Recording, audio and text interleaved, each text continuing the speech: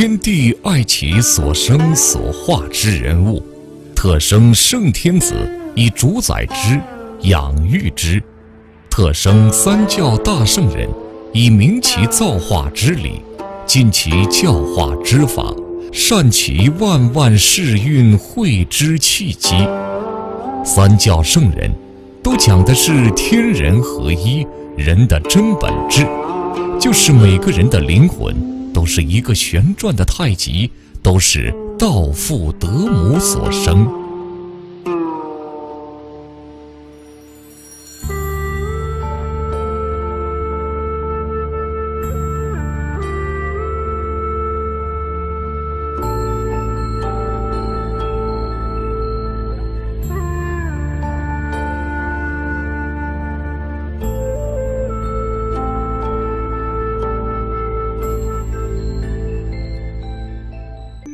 西游记》金丹揭秘，主讲人韩金英，一九六一年生于北京，一九八三年毕业于北师大中文系，中国文化报记者，团结出版社编审，作家、画家、丹道家，代表作《生命禅》《易经》中的生命密码，《内在小孩解道德经》《孙悟空出世》《道德艺术》等，精通易道。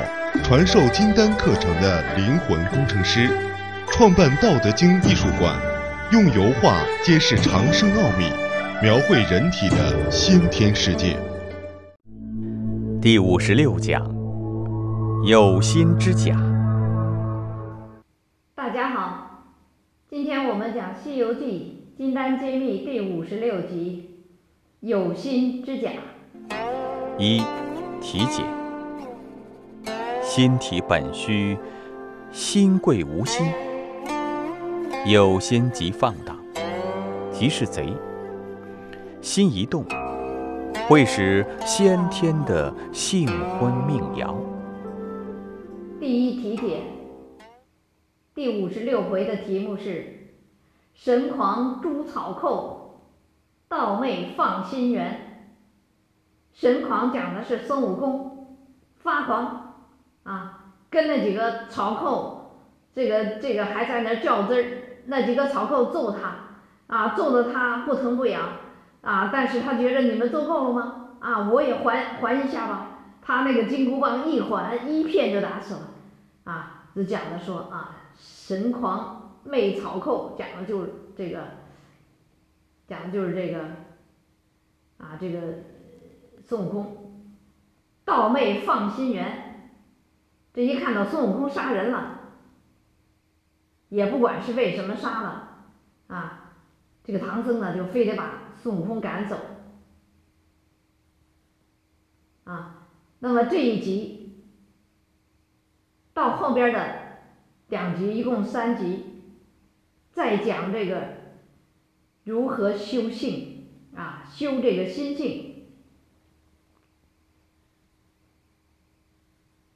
这个把孙悟空赶走了，真的走了，假的就来，啊，就不知真假，结果就来了假假孙悟空，就来了六耳猕猴，啊，到后来呢就讲这个六耳猕猴和孙悟空比较真假孙悟空，这个比较比较的就是阴神的神通。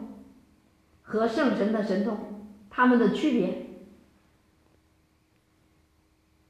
这小说一开始呢，有一首诗，啊，灵台无物谓之清，寂寂全无一念生。猿马劳收休放荡，精神谨慎莫峥嵘。这假人的心，它是个虚的，所以最贵的是无心，啊。如果有心，抱着这样的心那样的心，就是放荡，就是贼，啊！人的心一动，后天的心一动，先天的就叫性昏命摇，啊！人的真气就没有了，人的本性那个元神啊，那个神就昏了，啊，就不知道真假，不知道东南西北。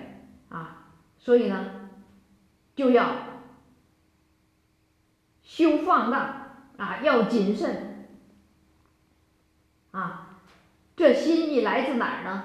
就来自于这个六啊，这个六贼啊，叫除六贼，悟三乘，万缘都罢自分明，色邪永灭超真界，坐享西方极乐城。啊，要除掉这个六根，这个六耳猕猴就是六根六世，啊，就是这六六贼，啊，因为有了这个心意，人的本性元神就被遮盖，啊，如果人的心意能够定，就会幸福命全，啊。如果心意是定的，人的本性就恢复，人的本性里头就带着先天的真气啊，所以叫性富而命全。那么本性的恢复，本性能量的啊，这个这个壮大，它全看你的心啊，它本来是好好的，就是你的心遮盖的程度啊，你你的遮盖。多打开一点儿，它就多显露一点儿啊，所以叫心死性彻啊。你的后天的心完全管住了，你的本性啊，就就完全的恢复啊，就就是完全的这种遮盖就就拿开啊，所以叫心死则性彻，性彻则命定啊，人的这个。命和性很大的原因就是这个后天的心意的干涉啊，没有了这个干涉，人的性命就合一，这个金丹啊，这个生命本来之光啊，就可以恢复。所以说，修心性的一个关键就在于心死，人的心意能够不乱启动啊，不胡思乱想。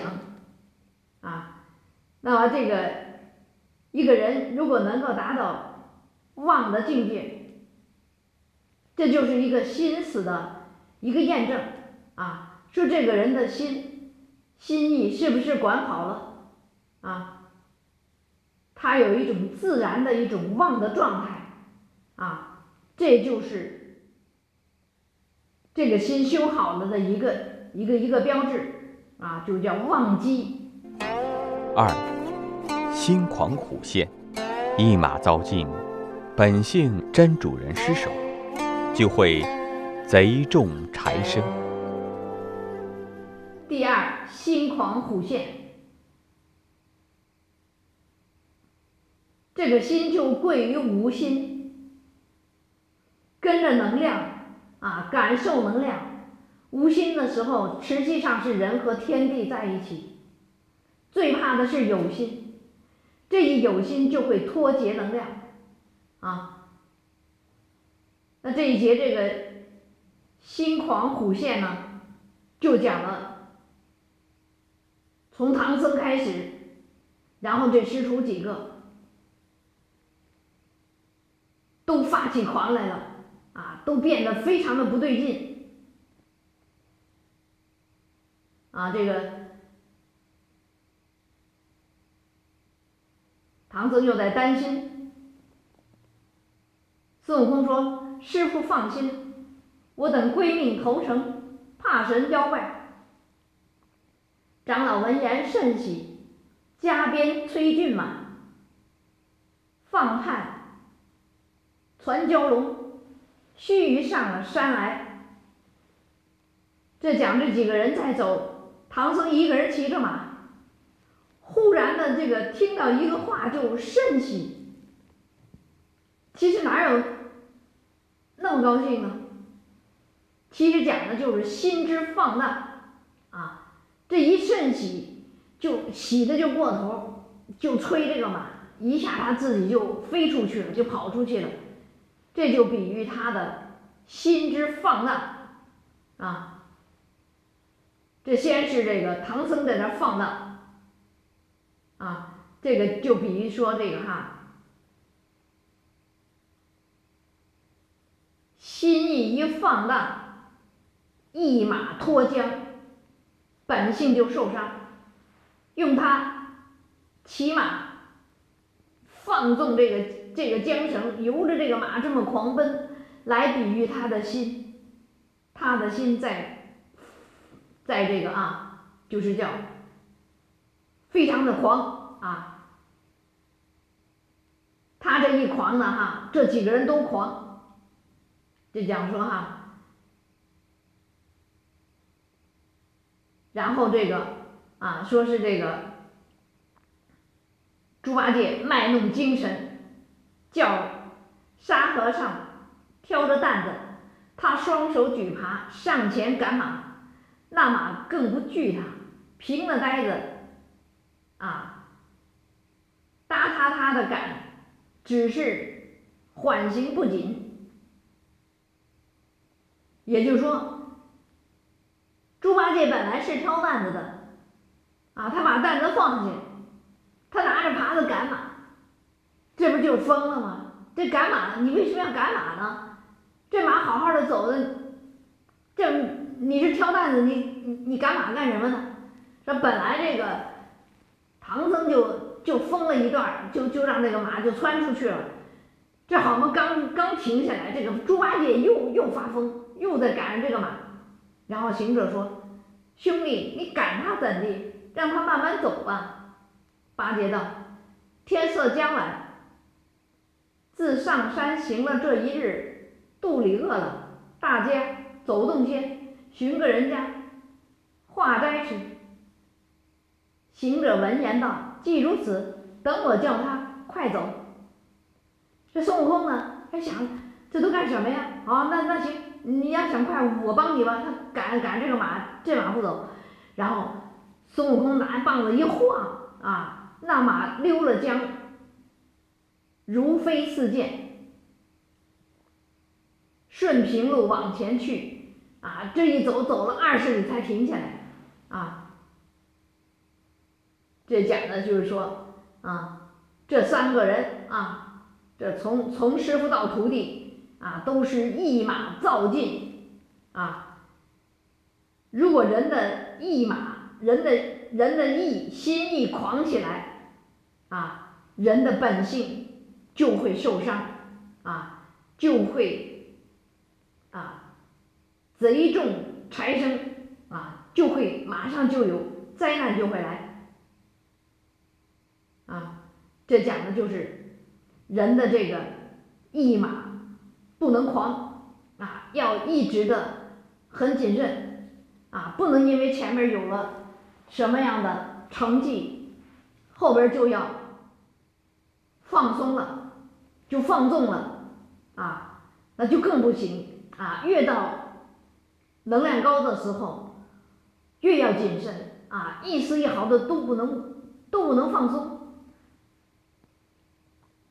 啊，这马呢就窜出去了，他们几个人在后边慢慢走，师傅一个人窜出去了，啊，正走处，忽听得一棒锣声，路两边闪出三十多个人，一个个枪刀棍棒拦住路口道：“和尚哪里走？”唬得个唐僧战兢兢，坐不稳，跌下马来。蹲在路旁草棵里，只叫大王饶命，大王饶命。那围头的两个大汉道：“不打你，只是有盘缠留下。”啊，这个讲说用这个马的失控，唐僧遇到贼，讲的就是啊一。一马妄妄想啊，这个妄妄动，对于修道来说，人的无心和天地的能量在一起，这妄心一起，就脱离了能量，就回入到一个人心的一个后天的状态，啊，这个就是一个二心的状态啊，就不是那个那个道心，啊。这个两个贼，比喻的就是人的这个后天的这个二心啊，贼截住了去路，比喻的就是你只要起了人心，你回到后天的这个人心这个状态，就叫截住去路，打劫法财啊，也就是说。你一离开了这个本性，你就离开了能量，啊，你就投入到了这个阴气啊，因为后天这个妄意，它是阴气，啊，然后这就就在形容这个贼什么样子呢？青脸獠牙，七太岁，啊。什么这个鬓边红发如飘火，啊，这就比喻的这个贼，比喻的就是后天意识心的造火，啊，这讲的说你这人心一动，这个心意一狂放，造火就起，贼就来，啊，就落入到这个贼的手里。三藏见他这般的凶恶，只得走起来，合掌当胸道：“大王，贫僧是东土唐王，差往西天取经者，自别了长安，年深日久，就有些盘缠也使尽了。出家人专以起化为由，哪得个财景？万望大王方便方便，让贫僧过去吧。”那两个贼帅率众向前道：“我们在这里起一片虎心，截住要路，专要些财锦。什么方便不方便？你果无财锦，快早脱下衣服，留下白马，放你过去。”啊，这个贼直接就说：“我们在这儿起的是一片虎心，啊。”这讲的就是人心一起，啊，就是苦心，啊，就是这个，啊，就是凶险。三藏道：“啊，说阿弥陀佛，贫僧这件衣服是东家画布，西家画针，零零碎碎画来的。”你若剥去，可不害杀我也。只是这事里做的好汉，那事里变畜生了。啊！这贼一听这个话呢，上前就打啊！这讲说，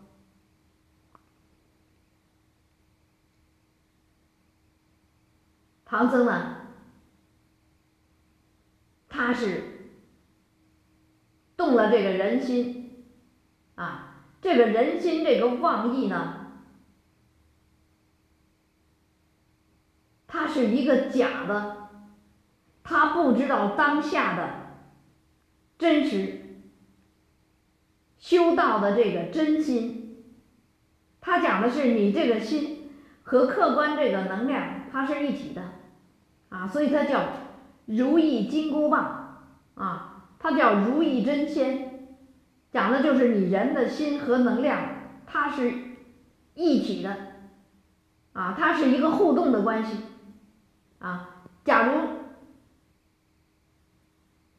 你动了后天意识心，你就脱离了大道的能量，所以呢，你说话就错误百出，啊，你说他做得好汉，那事儿就。就变畜生，也说你这一这一世你不能做这个事儿啊！你正好充了个好汉，你下辈子就是畜生了。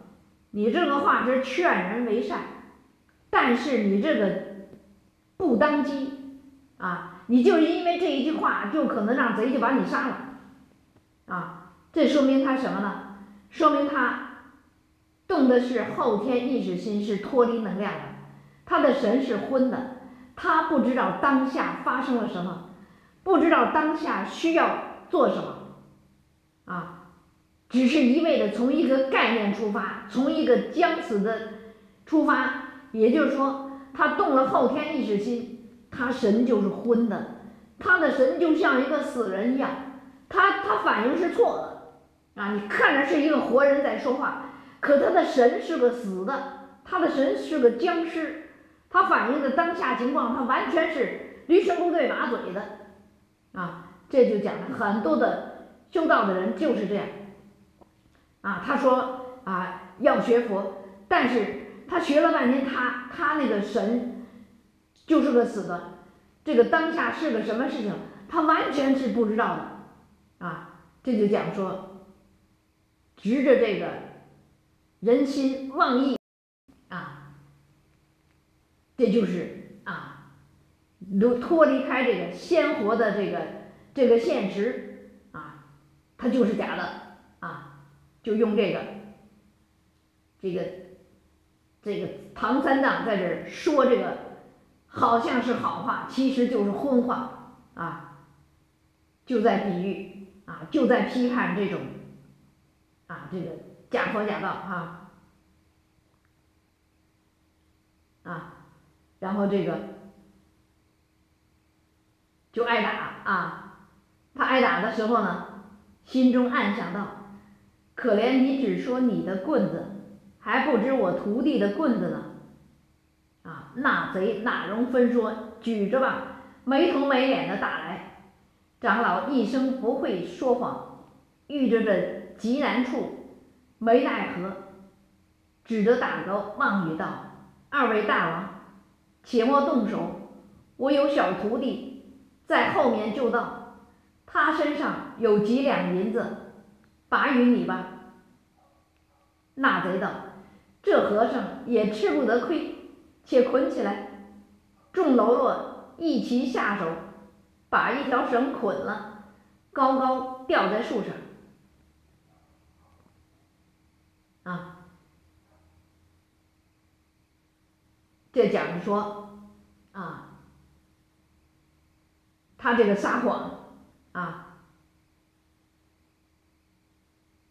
他这个撒谎呢，暂时的这个啊，缓解了这个畏惧，啊，没有因此就就把他这个说这个惹惹那个贼的话啊，让让贼再给杀了，啊，也就是说他呢。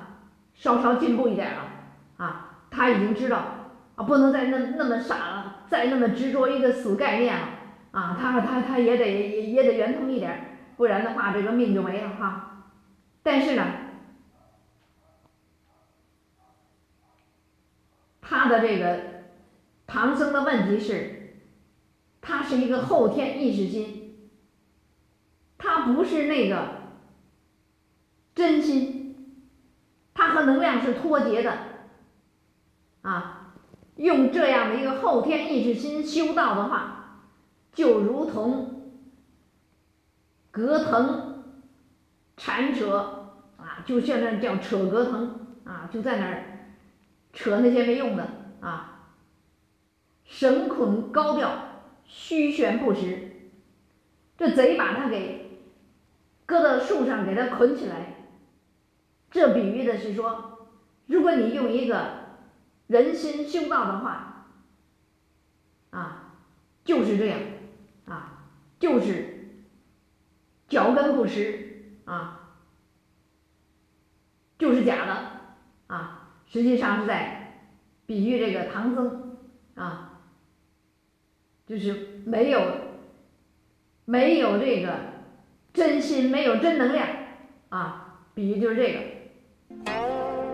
三，直心回头，直心忘意，损德弃道，大幅度退步，就是走回头路。第三，直心回头。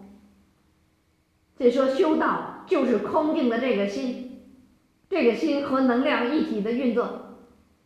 如果直心，直了一个人心啊，直了一个妄意。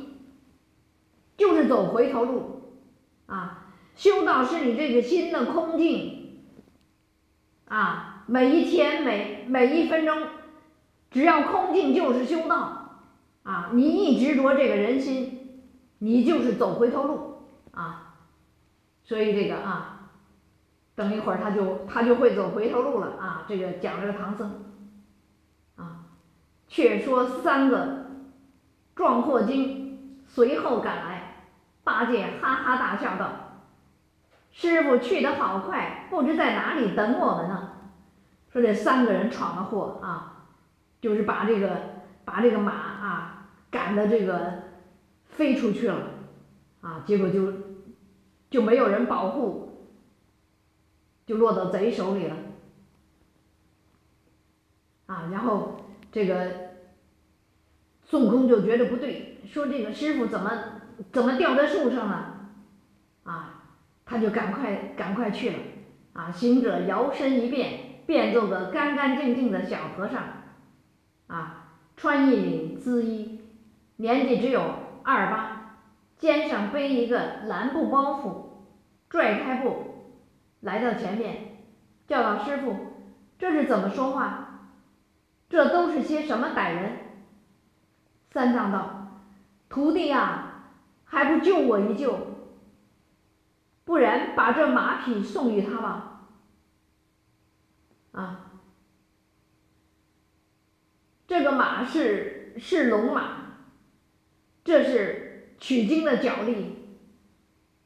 他居然说把这个马送给贼，啊，这这这讲的就是说，人如果执于后天的心意，他就会。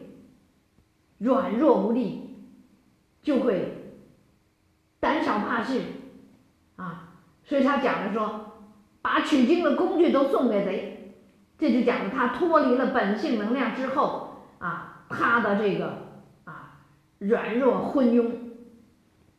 行者闻言笑道：“师傅不济，天地啊天下也有和尚，似你这样皮松的却少，啊，就说。”怎么就这么怕了啊？就就就皮松啊，就是这么这么这么经不得呢？经不得打呢？啊！唐太宗差你往西天见佛，谁叫你把这龙马送人？啊！然后呢，这个唐僧就跟他说，说那那那说说说那我我都跟他说了，说那个那个我这没有钱，我这个徒弟那有钱。啊，等等我徒弟来了再说吧。啊，然后行者道：“好，好，好，承你抬举，正是这样供。若肯一个月供七八十遭，老孙月有买卖。”啊，他这个唐僧。这个心慌意乱，啊，表现出来的软弱，啊，自私、恐惧、狡诈，啊，这展示的就是人心，讲的就是你脱离开了本性以后，啊，你就会，啊，这个是这种人心的状态，这种人心的状态。他怎么能取经呢？啊，也就展示说，如果你抱着人心修道，那是那是不成的。这个人心就是这样啊，软弱、自私、恐惧、奸诈，人心就是这个东西，这个东西对本性在在遮盖啊，这怎么能行呢？所以他就通过。这个唐僧这种莫名其妙的话，这种心理状态，讲的就是，如果你不知道修道是什么，啊，你抱着人身修道，啊，那就是这个，就是这个局面，啊，那伙贼见行者与他师傅讲话。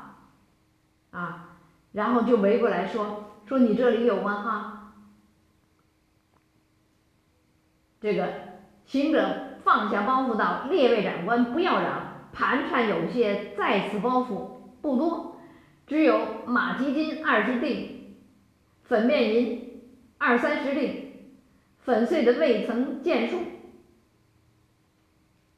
这孙悟空呢，也是在撒谎，因为他们一点钱都没有。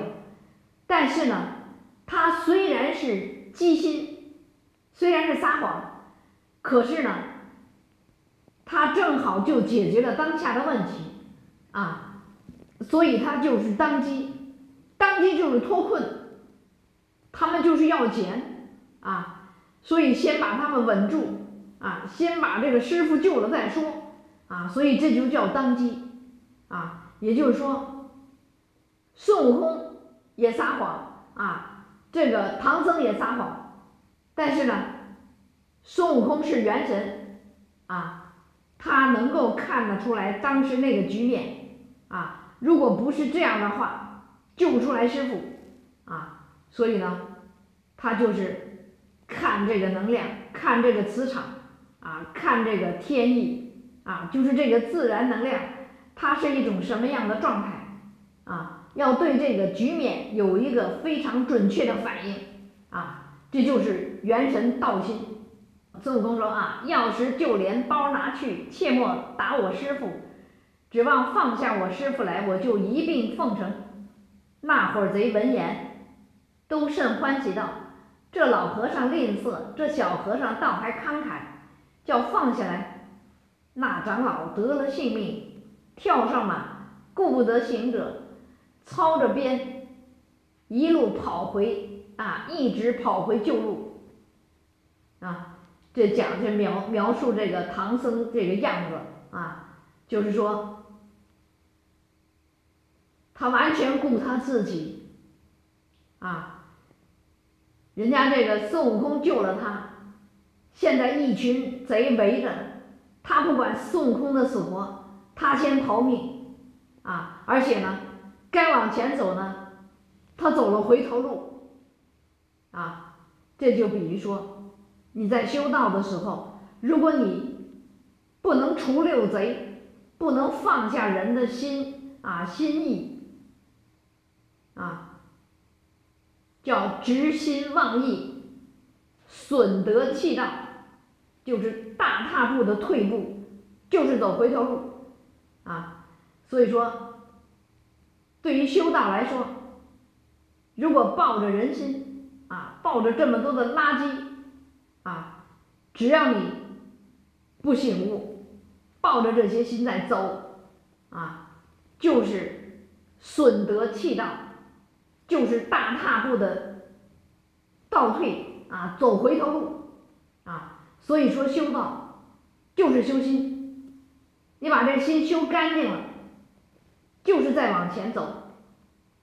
这个心抱着一堆的垃圾啊，垃圾，不管你修到哪一步了，你就是在走回头路啊，就是大踏步的这个啊退步啊。这讲的修道就是一个空境的一个无心，抱着这些有心啊。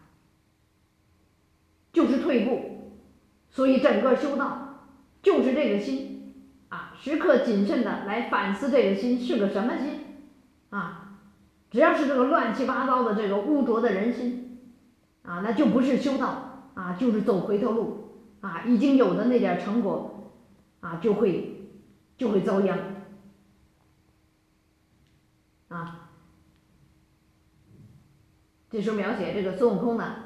掏出来啊，耳中摸一摸，拔出一个绣花针道：“列位，我出家人果然不曾带得盘缠，只这个针儿送你吧。”那贼道：“晦气呀，把一个富贵和尚放了，却拿住这个穷秃驴，你好到会做裁缝，我要做神啊，我要做针啊，我要真做甚的。”行者听说不要，就拈在手中晃了一晃。变作碗来粗细的一条棍子，那贼上前来，啊，又打了五六十下，啊，然后这个这个贼就说啊，这个孙悟空啊，没想到你这小和尚还会玩法术呢，啊，会把一个小枝变成一个大的棍子，啊，正在说呢，然后他们就就上来打了，啊，打了五六十下，啊，行者说你也打的手困了，且让老孙打一棒，啊，却休当真，啊。这孙悟空呢，一动手，这棍棍子一动就死了一个，啊，然后另外一个就说，啊，说这这秃死老大无礼，盘缠没有，转伤我一个人。行者笑道：“且消停，且消停，待我一个个打来，一发叫你断了根了。”当的又一棍。把第二个又打死了，唬得众喽啰啊撇枪弃棍，四路逃逃生而走。啊，这讲的说这个二贼，比喻的就是二心啊。孙悟空这个先天一气晃一晃，就把这个这个假的这个二心啊就给灭了啊，比喻的是这个。但是呢，从这个。这个什么来说哈，就是孙悟空呢，他也是站在了这个人心啊，就说你们打我啊，那都打累了，好，你们你们打不了我，我我我打你一下吧，他好像是一种跟着这个贼在打赌啊，在在这个在较劲啊。好像他也有道理。好，你们打我，你们都打了我那么多下，我打你一下吧。所以这也是孙悟空的不对啊，他就不该有这个计较的心啊，因为那个后天的那个小草寇啊，他和这个齐天这个这个本事，那是不应该比较，不应该较量的。所以这个就是他这个啊，孙悟空的这个。表示他这个神狂啊，荡的又一棍子啊，他这小说用一个“荡”字，讲的就是他的心意放荡啊，心意放荡，神就狂，所以他这个做事情他就没有分寸了啊，他就他就过分了啊，其实把他们吓走了就可以了。四，五行错乱。七心一生，五行错乱，四象不合，大道已昧。第四，五行错乱。却说唐僧骑着马往东正跑，八戒、沙僧拦住道：“师傅往哪里去？错走路了。”长老都骂道：“徒弟呀，趁早去和你师兄说，叫他棍下留情。”莫要打杀那些强盗，啊！然后这个猪八戒就去了，去了一看已经打死了，回来跟他说：“八戒道，打也打的直了脚，又会往哪里去走呢？”啊！这个猪八戒就说：“哎呀，散伙了，啊！”三藏道：“你怎么说散伙？”八戒道：“打杀了，不是散伙是神的。”三藏问：“打了怎么样？”八戒说啊，头上打了两个大窟窿。三藏叫：“解开包，取几文趁钱，赶快去哪里讨两个膏药，与他两个贴贴。”八戒笑道：“师傅好没正经，膏药只好贴的活人的。”疮肿，哪里好贴的死人的窟窿？三藏道：“真打死了，就挠起来，口里不住的絮絮叨叨，猢狲长，猴子短。”啊，都转马与沙僧八戒至死人前，见那血淋淋的，倒卧山坡之下。这长老甚不忍见，即招八戒。快使钉耙，筑个坑子埋了，我与他念念卷倒头经，啊，他他要念经这个超度他。八戒道：“师傅左使了人也，行者打杀人，还该叫他去烧埋，怎么叫老猪做土工？”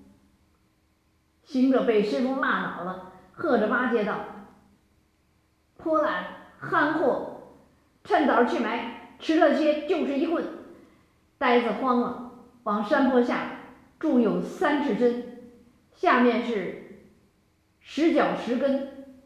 扛住铁耙，呆子丢了耙，便把嘴拱拱到软处，一嘴有二尺五，两嘴有五五尺深，把两个贼埋了，盘做一个坟堆。嗯，三藏叫道：“取香烛来，待我倒住，好念经。”行者努着嘴道。好不知趣，这半山之中，前不八村，后不八店，哪讨香烛？就有钱也无处去买。三藏狠狠的道：“猴头过去，等我搓土焚香祷告。”这三藏离安啊，悲野种，圣僧善念住荒坟。啊，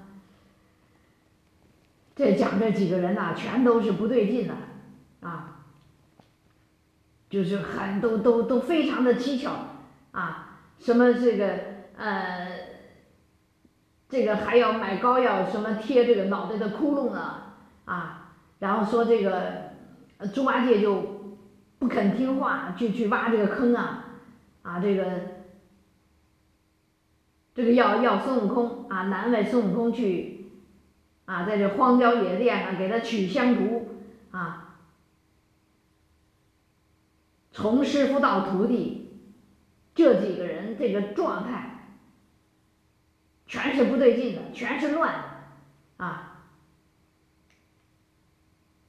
然后这个唐僧就说啊，拜为好汉，听到原因，念我弟子。东土唐人奉太宗皇帝懿旨，上西方求经取文，是来此地逢尔多人，不知是何府何州何县，都在此山内结党成群。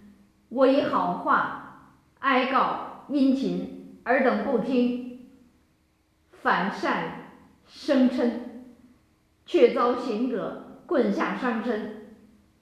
切念尸骸暴露，吾随沿土盘坟，则青竹为香烛，无光影有心情。取完时作诗时，无滋味有真诚有成真。你到森罗殿下兴祠，倒树寻根，他姓孙，我姓陈。各居异姓，冤有头，债有主，切莫告我取经人。啊，他这个本来是度亡灵，结果呢，他根本就不是用这个经来度亡灵，他说的全是他自己的私心，啊，全是他自己的那个俗事儿，啊，这就说这就是人心，啊，说他啊。不顾这个行者啊，走了回头路啊，他姑息这个草寇，反而呢要对这个无形呢来告这个孙大圣啊，也就是说，唐僧现在这个状态啊，就是一个。直心妄意的一个神昏啊，失去本性的光明啊！你一个一个度亡灵，他讲的是生命的本质你这一堆的话，讲的全是俗人的俗念，啊，就是处处是错的啊，每每一步他全是错的，啊，这就讲说啊，你离开了本性，啊，执着于这个人心，啊，那就是一错百错，一假百假，说什么全是错的，啊，八戒笑道：“师傅推了干净，他哪知？”也没有我们两个，三藏真有搓土祷告，好汉告状，只告行者，也不干八戒沙僧之事。啊，这通过这个唐僧这个这个这个过程啊，本来要渡亡灵啊，但是他说了这么一番的这个人心的是非的话啊，这展示的就是人的心意。啊，就是人的后天意识心是以自我为出发，啊，以这个利益为转移，啊，他不看全局，也不看真相，啊，好像他要渡人是做一件好事儿，可是呢，他说的都是废话，都是人心的话，都不讲的是真正渡亡灵的内容，他一点都没有。啊，所以他表面做了一个好事儿，其实呢，啊，他的神是昏的，啊，是善恶不分的，啊，而且无情无义。实际上他又做了一件是错事儿，好像做了一件善事儿，啊，他要渡渡人家，结果呢，实际上他他又是错了。啊，大圣闻言忍不住笑道。师傅，你老人家忒没情义，为你取经，我费了多少殷勤劳苦，如今打死这两个毛贼，你倒叫他去告老孙，虽是我动手打，却也只是为你，你不往西天取经，我不与你做徒弟，怎么会来这里会打杀人？索性等我助他一助。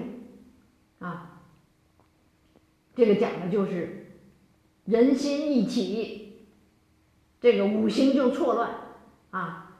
这个这师徒几个人啊，全是乱的，全是错的啊。然后这个孙悟空呢啊，就说你这个师傅怎么就不看内在？啊，怎么不不看这个根本，只看一个表象啊？啊，他就讲这个人心，人心看不到能量，啊，人心看不到真相，啊，其实他他的一番话啊，就在批判人心，啊，然后他就这个孙悟空就说了一套啊，说啊，遭瘟的强盗，你听着，我被你前七七八棍，后七八棍。打得我不疼不痒，触恼了性子，一插二误将你打死了。进你到哪里告我去？我老孙实是不怕了啊！也就是说，这个这个孙悟空也动了人心，他想说我是打死你了，但是你先打我的，我只不过还了一下手啊。这就是计较的人心啊，然后就说啊，天上地下他谁都不怕，所以你随便告吧。三藏见说出这般恶话，却又心惊道：“徒弟啊，我这导住是叫你体好生之德，为善良之人，你怎么就认起真来了？”行者道。师傅，这不是好耍子的勾当啊！且和你赶早寻速去。那长老只得怀嗔上马啊。这个唐僧呢，本来要渡人，结果他说的根本就是一些啊乱七八糟的人的是非的那些话。啊，这个说，孙悟空说，这可不是玩的啊！你这是说让这个啊，让这个贼啊去告我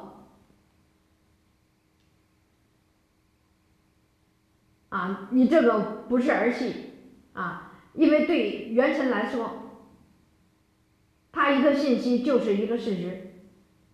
所以你唐僧，你这是人心，人心在发泄你的私愤，但是你这个私愤呢，你对着无形发的，它就会影响到孙悟空。对孙悟空，他本来就是虚的，啊，这个虚的信息对他来说就是真的，所以这个，你这个师傅啊，可不敢这么胡说，啊，所以呢。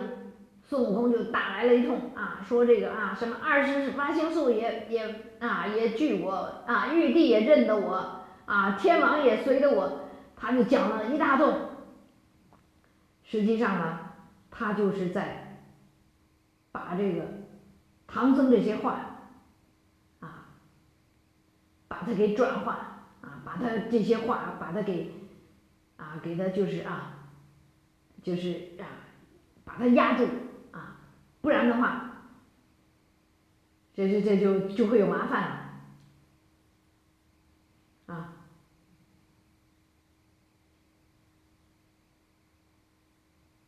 这唐僧呢哈，还说叫人家有好生之德，啊，其实呢，他说的一大顿的全是荤话，啊，根本就没有没有说他应该说的。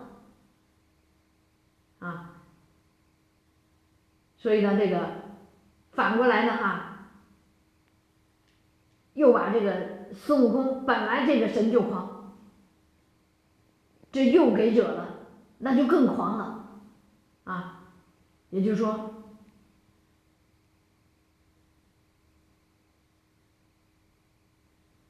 这个神狂啊，这个妄意，这个这个狂。这个唐僧呢，他是一个主要的啊。开始的时候，先是他狂起来的，他狂起来的话啊，这几个就就都狂了啊。当这个事情已经发展到了这个很坏的这种地步了，唐僧还不觉悟啊，还在用这个给这个贼这个超度，用这个事儿。来进一步的惹这个孙悟空啊，所以呢，后边的麻烦啊就更大了。五投了贼窝，人心妄意修道，就是纵贼换寇而盗昧，毕竟会错走作恶之门。第五，投了贼窝。孙大圣有不睦之心，八戒、沙僧已有嫉妒之意，师徒都面视背飞，依大路向西走。忽见路北下有一座庄院，啊，这讲的说，这个五行，这师徒之间，啊，不同心不同德。啊，都在那儿耍这个耍脾气，在那儿在那儿闹义气，啊，都在那儿处于一种昏聩的啊一种一种猖狂的一种状态，所以整个整个这几个人都都不对劲，啊，这讲的就是五行，啊，这个五行就乱套了，啊。所以他们投诉找的这个人家啊，这就是比喻啊，说正好就是他们劫他们那个贼啊，正好就是贼的家。这就讲的说，如果你用人心修道的话，就是纵贼而媚道啊，也就是说，这个人心就是贼啊，你这个用用人心来修道的话，你住的这个投诉的这个这个家，你投诉的这个地方就是个贼窝啊。所以呢，他一定就会，啊，走错啊，走错了门，啊，一定就走到贼窝里了。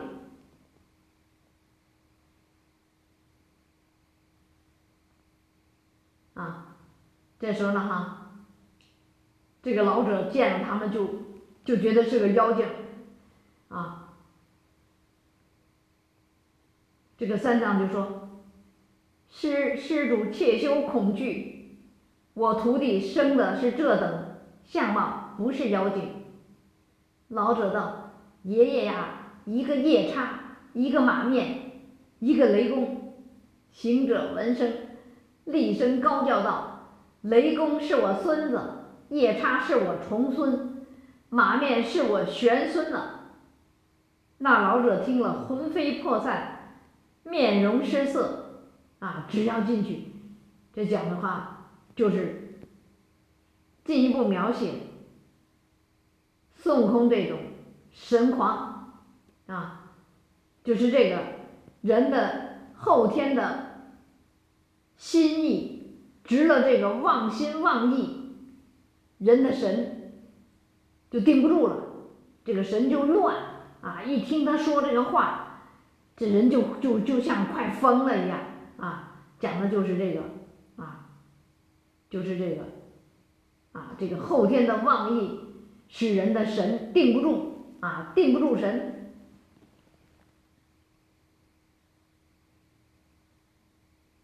啊，然后这进去了哈，就聊天聊天就说，说你家有什么人呢？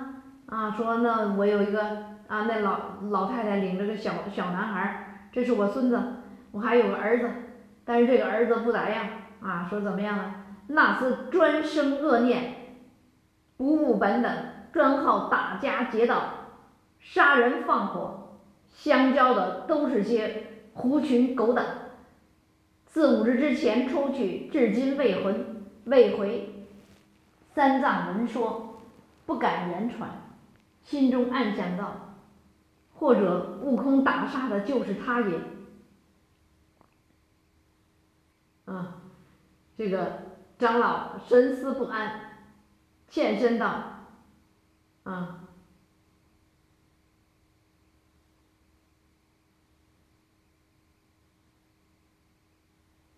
啊，说这个啊，嗯，善哉善哉啊啊，就是唐僧就说啊，说你如此啊贤父母，何生恶逆儿？啊，这个孙悟空就说，老官似这等。”不良不肖，奸盗淫邪之子，连累父母，要他何用？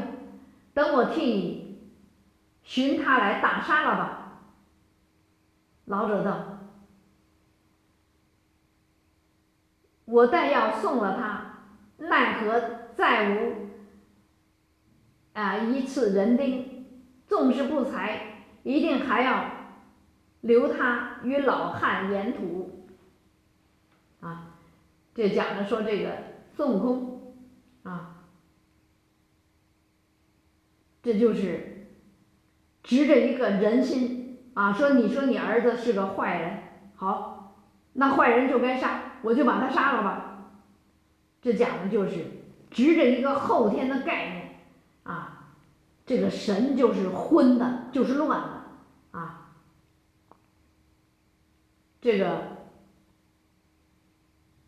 这个贼啊，他该该怎么样啊？老天自有安排啊！这个说这种话啊，他毕竟是是他儿子啊，所以说这种话就是就是不不稳妥啊，就是很就是很很不得当啊！这老头呢？说是要把这个虽然他是个恶的，但是呢，我还指着他给我养老送终呢。啊，这讲的就是说，猪这个啊，这个行者说的这个除恶，这个老汉说的留恶，啊，讲的都是人的后天的执着于后天的这个心意。这个后天的心意一动的话，神就不守舍，啊，就会神狂、神不定，啊，所以你看，听这话简直太没道理了，是吧？如果如果你从这个正常的逻辑来判断。为什么这些人说话都怎么都这么不对劲呢？他这就在比喻说，你修道的时候，如果你用人心的话，你往往就脱离当下的真实啊，当下磁场是什么，将要发生什么啊，应该怎么样？你总是踩不对点儿啊，说不对话，办不对事儿啊。这讲的说，有心就会妨碍这个。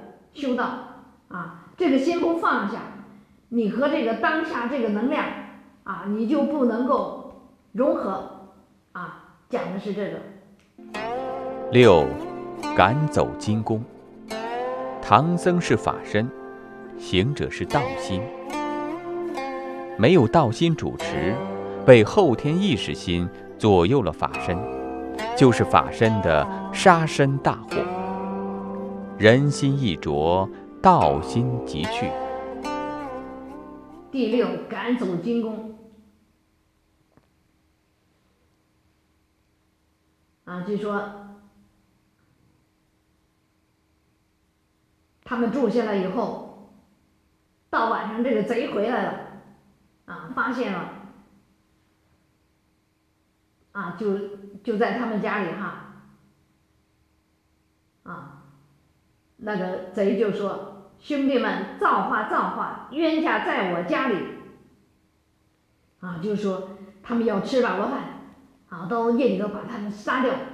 啊，那老儿听得此言，悄悄地走到后园，叫起唐僧四众道：“那厮领领众来了，知得汝等在此，意欲图害，我老拙念你远来，不忍伤害。”快早收拾行李，我送你往后门出去吧。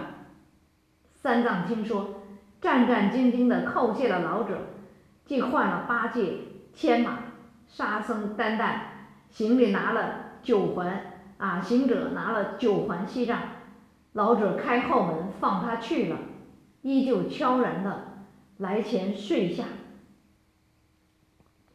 却说那厮们磨快了。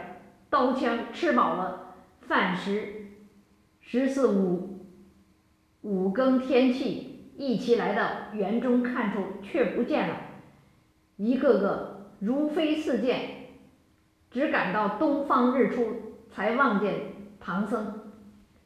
那长老忽听得喊声，回头观看，后边有二三十人，枪刀簇簇而来，便道徒弟呀，贼兵追至。怎生奈何？行者道：“放心，放心，老孙了他去来。”三藏勒马道：“悟空，切莫伤人，只吓退他便罢。”行者哪肯听信？啊，急赤啊青棒，挥手相迎道：“列位哪里去？”众贼骂道：“啊，秃秃厮无礼！”还我大王的命来！那厮们圈子阵，把行者围在中间，举枪举枪刀乱砍啊乱竖。这大圣把金箍棒晃一晃，碗来粗，把那伙贼打得星星落云散，趟着的就死，挽着的就亡，招的。骨折。擦的皮伤，乖些的啊跑脱几个，吃些的都见阎王。啊，就讲这个金箍棒这个威力哈，就往这这么一晃啊，那些上来打的就都就都撞死了啊，就个个都啊，其实还不是孙悟空打的啊，就是他们来打，孙悟空就在那儿那儿杵着，他们就都死了啊，就讲这个啊。讲这个先天一气的这个这个厉害啊，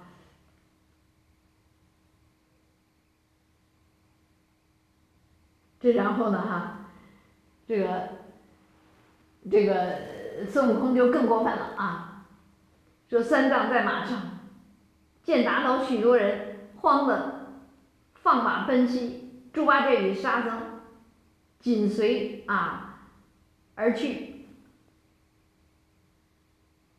然后那行者就问那个啊不死带伤的贼人道：“哪个是那杨老儿的儿子？”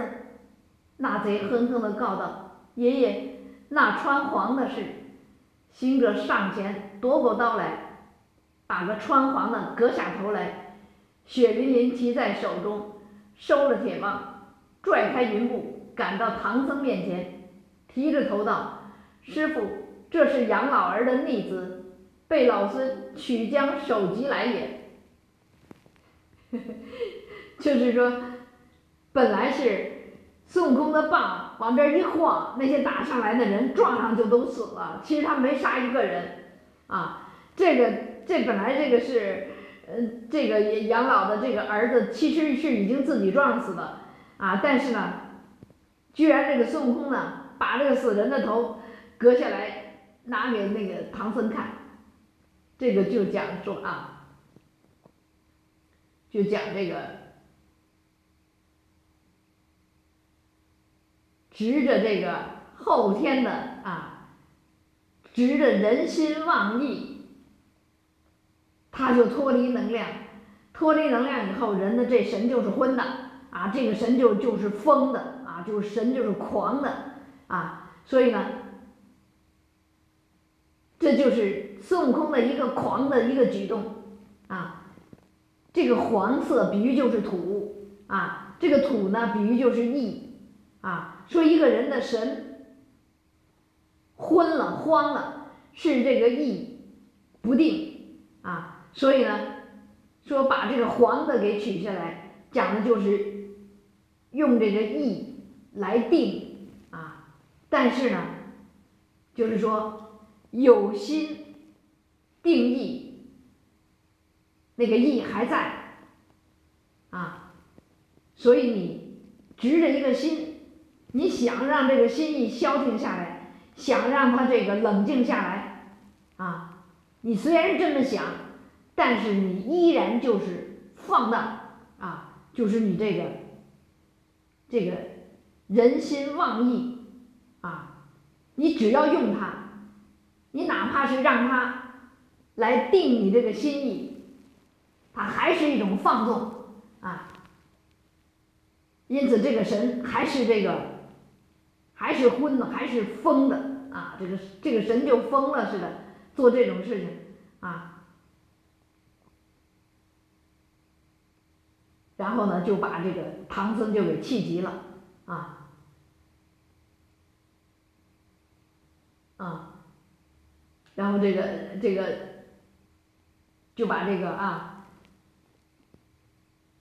这个猪八戒就把这个这贼的头给给埋起来了，啊，唐僧就就开始这个啊念这个紧箍咒，把个行者累得面红耳赤，啊，眼胀头昏，在地下打滚儿，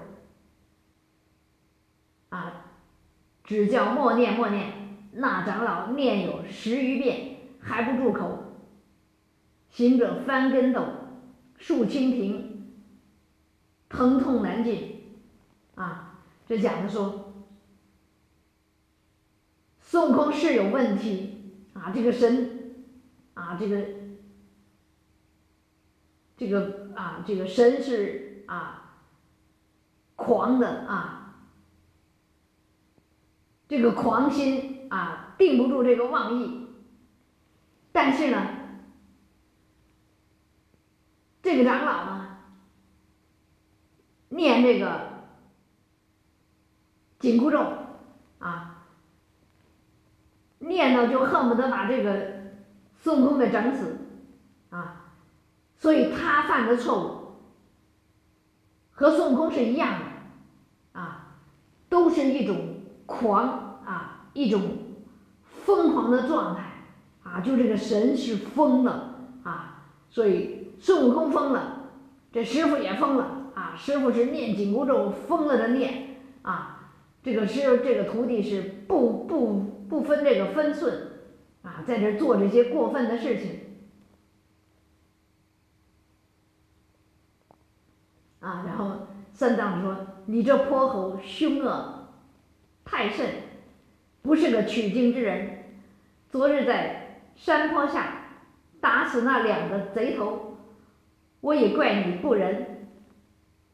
今晚到了老者之家，蒙他赐斋借宿，又蒙他开后门，放我等逃了性命。虽然他的儿子不肖，与我无干，也不该就削他手。况又杀死多人，坏了多少生命，伤了天地多少和气。啊，他讲。杀一个人，啊，就是那一点灵光，那个心灵之光，那个和气，啊，他讲的你杀这个人，啊，你就是浪费了天地的多少的和气，啊，屡次劝你更无一丝善念，要你何为？快走快走，免得又念真言。行者害怕，只叫默念默念，我去也，说声去。一路跟着云，无影无踪，就不见了。啊，这个唐僧的这一番话，啊，他说，因为这个老者对我们有用，啊，对我们有好处，所以不管，啊，他那个儿子再坏，跟我们也无关。所以他在想一个事儿，在判断一个事情的时候，这讲的就是人心的逻辑啊。人心是以利益为转移的啊，他是不管真假的，这东西对我有用就是好的，这就是人心啊。所以呢，他就是啊，真假不分啊。是真的道，还是还是邪的东西啊？他就不分啊，这是这是一层意思。唐僧把孙悟空赶走，唐僧是法身，法身没有能量，没有天地的先天一气，这个道心没有这个能量。啊。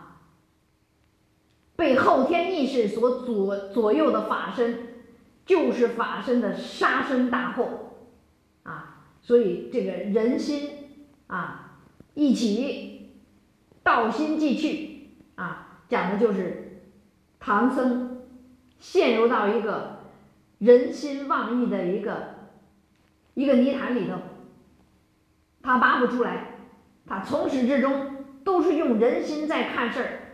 看的全是错的，啊，弄得这个师徒之间，这个五行是乱七八糟的，啊，事情做的也是错的，啊，这个关系这些人的状态全是扭曲的，啊，这讲的就是人心一起，道心既去，啊，你这人心一起来，真东西就离开你了。啊所以它的结尾有一句诗叫“心有凶狂丹不熟，神无定位道难成”。那么这两句，这两句诗就整个概括这一集，讲的从唐僧他们的这个心狂意乱，这个神没有定位啊。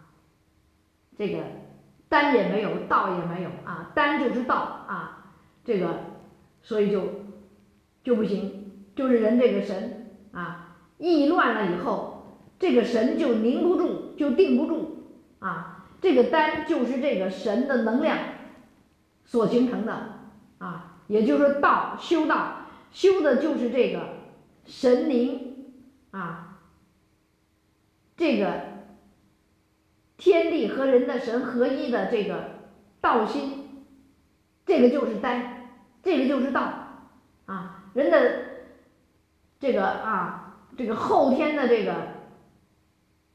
人心和这个妄意一起的话，